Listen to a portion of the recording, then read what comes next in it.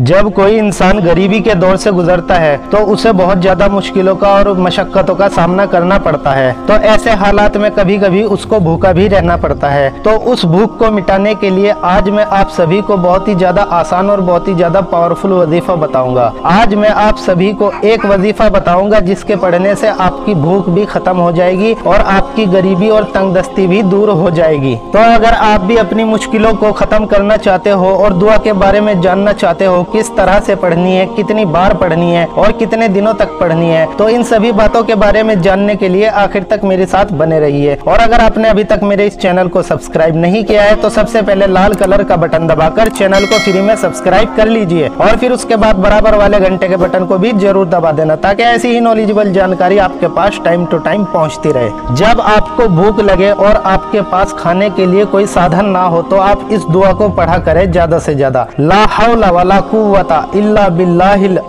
अजीम। और दोस्तों, अगर आप इसके साथ मालदार होना चाहते हो और अमीर बनना चाहते हो तो आप इस दुआ को एक दिन में एक हज़ार मरतबा पढ़ा करो। इनशाला आठ दस दिन के अंदर ही आपका काम बन जाएगा। आप पहले से ज़्यादा अमीर हो जाओगे और आपकी गरीबी खत्म हो जाएगी और आपकी परेशानियाँ भी दूर हो जाएँगी। इनशाला मालदार बनने के लिए इस अमल को पंद्रह दिन तक के करना पड़ता है। पंद्रह दिन से पहले पहले ही आपका काम हो जाएगा। और जब कभी भी आपको भूख लगे तो इस दुआ को दो तीन बार पढ़ लिया करो इनशाला भूख बिल्कुल खत्म हो जाएगी। आज की ये जानकारी आप सभी को कैसी लगी है मुझे कमेंट बॉक्स में लिखकर ज़रूर बताना। और इस जानकारी को अपने दोस्तों और रिश्तेदारों में भी शेयर कर देना ताकि हर एक शख्स फ़ायदा उठा सके।